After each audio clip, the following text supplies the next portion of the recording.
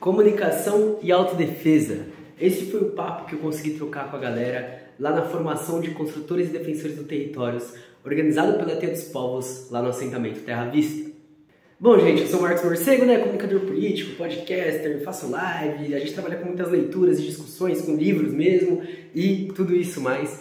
E essa viagem só foi possível graças ao apoio de vocês e ajuda de vocês. Mas vamos trocar um pouco da ideia aqui sobre a questão da comunicação e da autodefesa? Tema que acabou surgindo ali no meio desse esse, esse debate, é, tanto pela minha área de comunicação política, quanto pela questão de autodefesa, né? Se a gente lembrar o que está acontecendo no território da Bahia, uma situação complicada, muito difícil, mas se a gente lembrar também que esse estado de guerra é uma constância desde a colonização. Então a gente meio que está sempre, sempre tendo que estar alerta.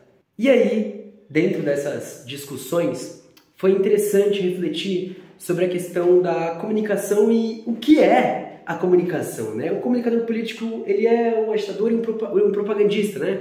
Por exemplo. Mas ele não é a única pessoa que faz comunicação. A questão, por exemplo, da segurança dos nossos territórios tem que girar em cima da comunicação tanto interna para a gente entender as, inf as informações, quanto externa para absorver o que está acontecendo fora. Mas também faz parte da comunicação o que a gente tem que trabalhar com as organizações, movimentos e partidos, da questão de como a gente age, por exemplo, internamente nas resoluções de conflitos, nas, na, nas formações de acordo, ou, por exemplo, inclusive nas formações políticas que acontecem, nas formações técnicas, em tudo isso. A comunicação ela acaba sendo um elemento central nisso.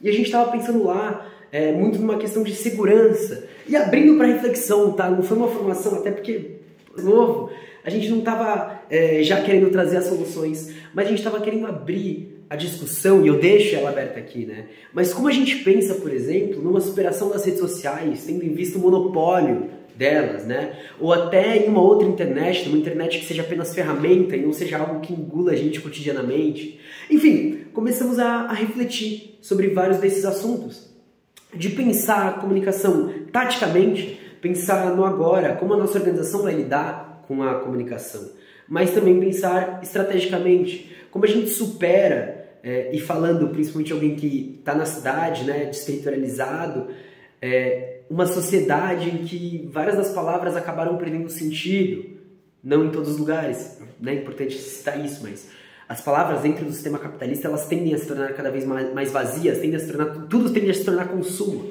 Então, como a gente supera, desde o jeito que a gente, se, que a gente fala, mas até o conteúdo que a gente produz.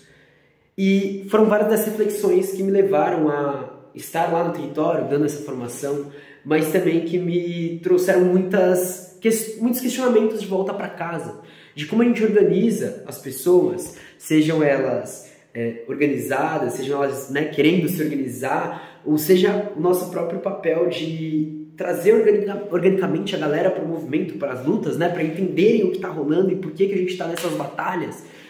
E, enfim, continuo sem respostas, né?